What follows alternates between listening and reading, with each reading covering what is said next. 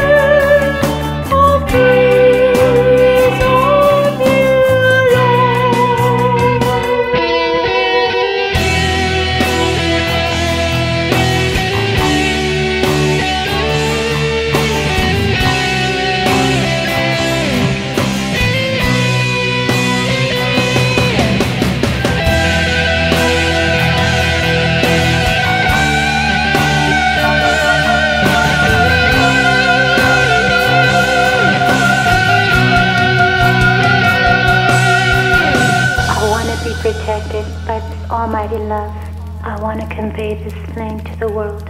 This fire will wipe up the amber of hatred. This fire will block up the dark evil force.